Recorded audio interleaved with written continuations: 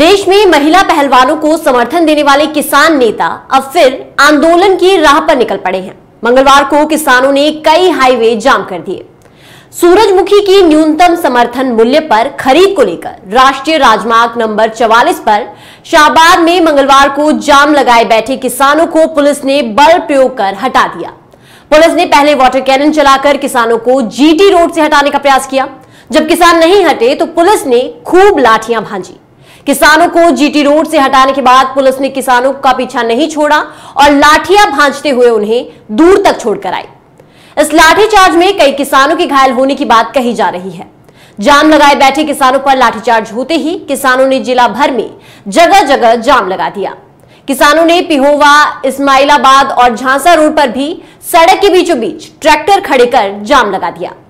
बताया जा रहा है कि पुलिस हाईवे जाम ना करने को लेकर हाईकोर्ट के ऑर्डर लेकर आई थी। उसके बाद किसानों को 15 मिनट का समय दिया गया, लेकिन वो नहीं हटे। इसके बाद पहले वाटर कैनन और फिर लाठी चार्ज कर दिया गया। पुलिस ने किसानों को वहाँ से हटा दिया इस दौरान जमकर पत्थरबाजी भी हुई। किसानों को हटाने के बाद हाईवे पर आवाजाही शुरू कर दी गई।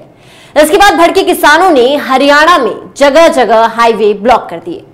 हिसार, रोहतक और कई दूसरी जगह हाईवे के टोल प्लाजाओं पर किसानों ने डेरा जमा लिया है। कुरुक्षेत्र के मेन चौक पर जाम लगा दिया गया है। पिहोवा में भी किसानों का प्रदर्शन शुरू हुआ। किसान सूरजमुखी की खरीद एमएसपी पर करने की मांग को लेकर जहाँ धरना दे रहे हैं, इससे पहले भाकियू नेता गुरनाम सिंह चडूनी ने प्रशासन को चेतावनी दी थी कि अगर पुलिस ने बल प्रयोग किया तो पूरा हरियाणा जाम कर दिया जाएगा। प्रदर्शनकारी किसानों ने दावा किया कि राज्य सरकार एमएसपी पर सूरजमुखी के बीज नहीं खरीद रही है और उन्हें छह हज़ार चार सौ रुपए एमएसपी के मुकाबले लगभग चार हज़ार रुपए प्रति क्विंटल पर अपनी उपज निजी खरीदारों को बेचने के लिए मजबूर होना पड़ रहा है। कुरुक्षेत्र में किसानों और पुलिस के बीच हुए बवाल और किसान नेता गुरनाम सिंह चिरूनी की गिरफ्तारी के विरोध में हरियाणा में अलग अलग जगह सड़कों को जाम किया जा रहा है। लाठीचार्ज से किसान गुस्से में हैं और हरियाणा सरकार की जमकर आलोचना हो रही है। एसडीएम कपिल कुमार ने सूरजमुखी के बीज के लिए न्यूनतम समर्थन मूल्य की मांग को लेकर शाहबाद में प्रदर्शन कर रहे किसानों से बात की। उनका कहना है कि वो कह रहे हैं कि गुरनाम सिंह चरूनी को लेकर गुरनाम सिंह चढ़ूरी को उनके बीच लाया, लाया जाए ये मांग जो है वो किसान लगातार कर रहे हैं और उनकी उपज एमएसपी पर खरीदी जाए ये भी किसानों की मांग है। नहीं नहीं बातचीत में हम तो उनसे यही अनुरोध कर रहे हैं। बता देंगे ना ठीक है और बाकी इन्होंने जो बताया है उन चीज़ों से हम उच्च अधिकारियों को अवगत करवा देंगे। आप क्या क्या बात करी इन्होंने इन्होंने तो यही कहा है कि जो गुरनाम सिंह जी हैं उनको जो है उनके बीच में लेके आया जाए एमएसपी पे जो है वो हमारा जो है परचेज की जाए ये चीज़ें कह रहे हैं। को लेकर भी इन्होंने बात कही। हाँ वो कह रहे हैं ना कि उनको लेके आओ हमारे बीच में। नहीं बातचीत हरियाणा के कुरुक्षेत्र में किसानों पर हुए लाठीचार्ज को लेकर विपक्षी पार्टियाँ भी बीजेपी पर हमलावर हो गई है। कांग्रेस इनेलो आम आदमी पार्टी ने राज्य सरकार को हर तरफ़ से घेर लिया है। पूर्व मुख्यमंत्री भूपेंद्र सिंह हुड्डा ने ट्वीट कर लिखा, बीजेपी, जेजेपी सरकार द्वारा सूरजमुखी की एमएसपी पर खरीद को लेकर प्रदर्शन कर रहे किसानों पर बल प्रयोग बेहद ही निंदनीय है। चौसठ सौ रुपए एमएसपी की फ़सल किसान चार हज़ार पैंतालीस में बेचने के लिए मजबूर हैं। क्यों? एमएसपी की मांग करना गुना है। सभी किसानों को तुरंत रिहा किया जाए और सूरजमुखी की एमएसपी पर खरीद सुनिश्चित हो। कुरुक्षेत्र में किसानों पर हुए लाठीचार्ज को लेकर कांग्रेस नेता रणदीप सिंह सुरजेवाला ने हरियाणा के मुख्यमंत्री और बीजेपी नेता मनोहर लाल खट्टर पर जमकर निशाना साधा।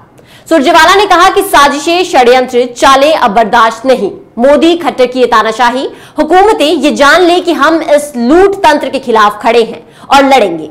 सुरजेवाला ने कहा कि पीएम मोदी ने कहा था कि एमएसपी कानून लाएँगे तो कहाँ है? ना तो एमएसपी कानून है और ना ही किसान को एमएसपी मिल रहा है। जब किसान विरोध करते हैं तो उन पर केवल लाठीचार्ज होता है। क्या सरकार और पुलिस केवल किसानों को पीटने और उनका अपमान करने का काम कर रही है? आइए सुनते हैं रणदीप सुरजेवाला को।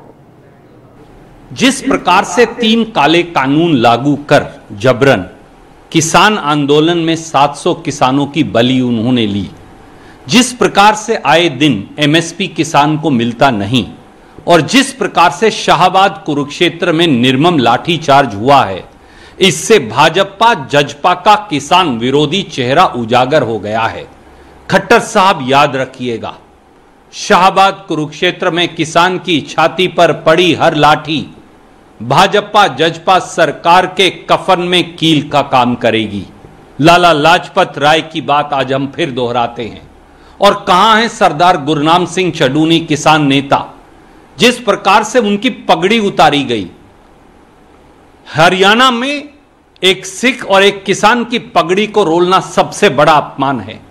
पुलिस ने जिस प्रकार से उनके कपड़े फाड़े और पिछले 24 घंटे से गुरनाम सिंह चडूनी जी कहाँ हैं इसका पता नहीं। क्या कह रहे हैं किसान? सूरजमुखी के एमएसपी की निर्धारित कीमत है चौसठ सौ रुपया। किसान को मिल रहा है चार हज़ार पैंतालीस सौ, मुश्किल से पाँच हज़ार कहीं कहीं। तो किसान क्या एमएसपी भी ना मांगे? मोदी जी ने गारंटी दी थी एमएसपी का कानून लाने की। कहाँ है वो कानून?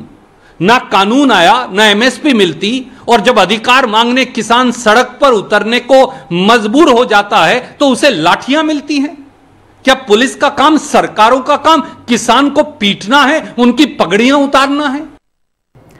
किसानों ने सरकार और प्रशासन को 6 जून को नेशनल हाईवे जाम करने की चेतावनी दी थी। मंगलवार को किसानों के अल्टीमेटम का अंतिम दिन था, जिसके बाद भी प्रशासन इन्हें नहीं रोक पाए।